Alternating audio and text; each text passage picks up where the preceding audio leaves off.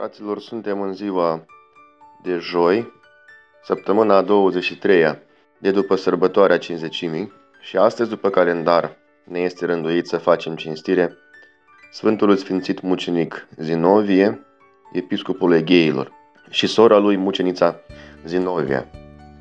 Aceștia au viețuit în zilele împărăției lui Dioclețian, fiind născuți din părinți creștini.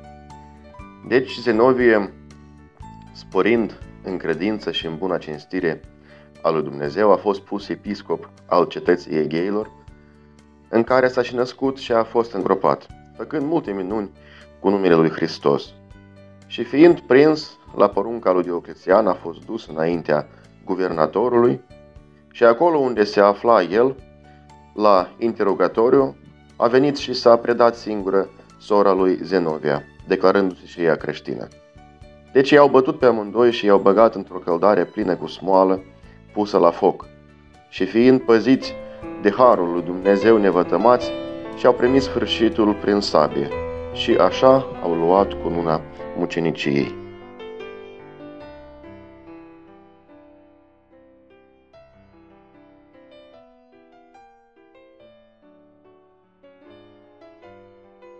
Evanghelia zilei de astăzi o citim de la Sfântul Apostol și Evanghelist Luca, capitolul 11, versetele 14 până la 23, unde citim așa.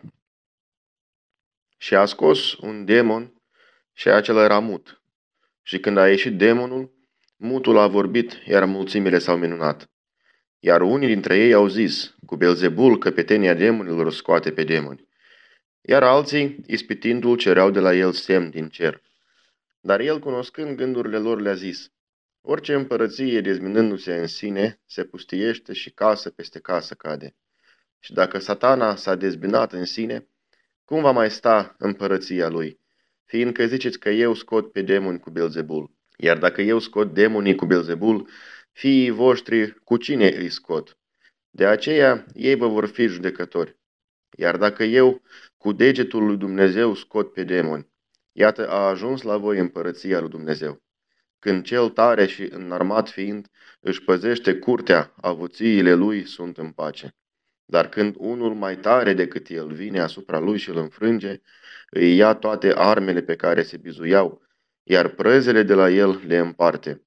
Cel ce nu este cu mine este împotriva mea și cel ce nu adună cu mine risipește.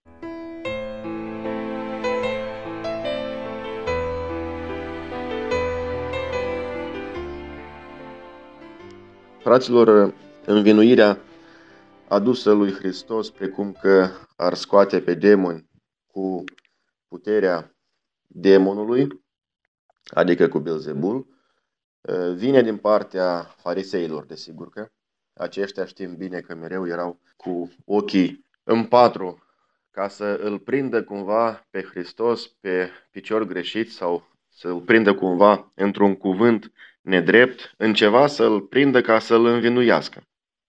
Iată că aici, atunci când au văzut că acel uh, om care era stăpânit de diavol și din cauza asta era mut, adică nu putea vorbi, ceea ce simbolic uh, putem spune că cel care nu-L are pe Dumnezeu în viață nu poate vorbi cele bune și doar cel care îl are în viața lui Duhul lui Dumnezeu, Duhul Sfânt, acela poate vorbi cele bune. Iată că și acest om fiind slobozit de Duh, i s-a uh, întors darul vorbirii, i s-a întors graiul. Fariseii, desigur că invidioși fiind, îndată au adus și învinuire uh, în numele lui Isus, precum că el cu puterea celui rău uh, alungă demonii. Și Hristos le dă un, un răspuns care desigur că este logic într-o împărăție ă, nu poate să fie dezbinare în interiorul ei, căci dacă este dezbinare, atunci se risipește. Deci Hristos le face referire la faptul că până la întruparea lui de la Duhul Sfânt din Fecioara Maria, lumea era stăpânită de diavol și el era stăpânul casei, adică a zidirii peste care a pus stăpânire. El domina lumea și avea puterea asupra firii omenești. Odată ce vine Hristos în lume, puterea diavolului scade, căci spune Hristos că vine cel mai tare, mai puternic, mai, mai, mai cu izbândă și desigur că Hristos face referire la el ca și Fiul al lui Dumnezeu, că a venit să, să slobozească lumea care este de fapt a lui zidire și spune Hristos că El cu degetul lui Dumnezeu uh, l-a alungat pe acel demon și desigur că aici este un moment uh, dogmatic prin care uh, Hristos ne, des- ne descoperă și nouă și celor care ascultau ca mai apoi să poată înțelege că degetul lui Dumnezeu este nimeni altul decât Duhul Sfânt. Deci El, prin puterea Duhului Sfânt, ca și mâna lui Dumnezeu, căci așa este interpretat și Hristos, El este mâna lui Dumnezeu, Duhul Sfânt este degetul lui Dumnezeu. Deci, unul Sfânt, unul Domn.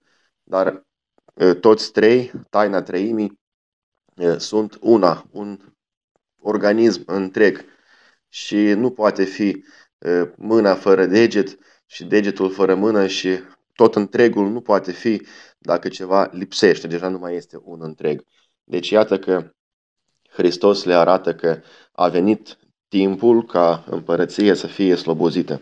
Să fie slobozită împărăția lui Dumnezeu, adică lumea zidită de Dumnezeu, să fie slobozită de puterea celui rău, de puterea diavolului.